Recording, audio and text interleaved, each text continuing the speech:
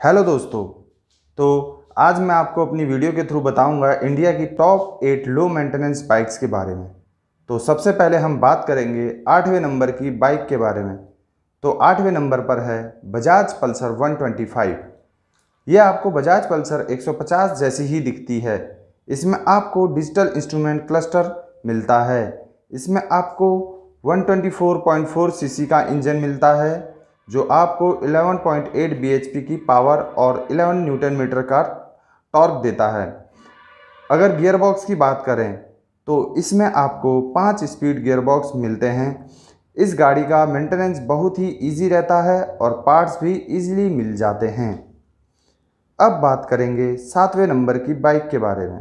तो सातवें नंबर पर आती है Honda S P one twenty five इस गाड़ी में 124 सीसी का इंजन लगा हुआ है, जो कि 10.7 bhp की पावर देता है और इसका टॉक 10.9 न्यूटन मीटर रहता है।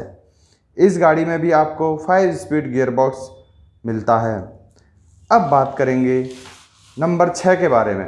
तो छठे नंबर पर आती है टी वी एस रेडियन इस बाइक में 109.7 सीसी का इंजन लगा हुआ है, जो कि air cold single cylinder engine है, जिसकी पावर 8.2 bhp और टॉर्क 8.7 न्यूटन मीटर का रहता है।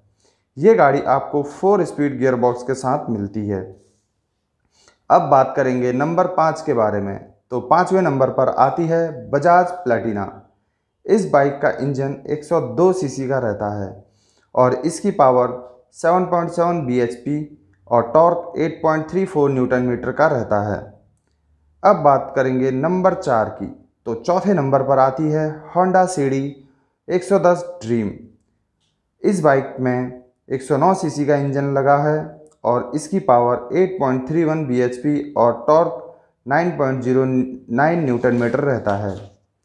अब बात करते हैं नंबर तीन की।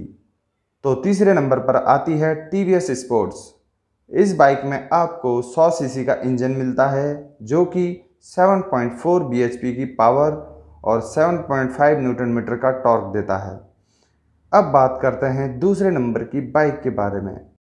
तो दूसरे नंबर पर आती है बजाज सी टी हंड्रेड इस बाइक में आपको 99.27 सीसी का इंजन मिलता है, जो 8.1 bhp की पावर और 8.05 न्यूटन मीटर का टॉर्क देता है।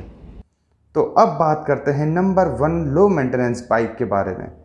तो यहाँ पर बाजी मारी है। हीरो स्प्लेंडर प्लस ने इस बाइक का इंजन 97 सीसी का रहता है, जो कि single cylinder air cooled engine रहता है।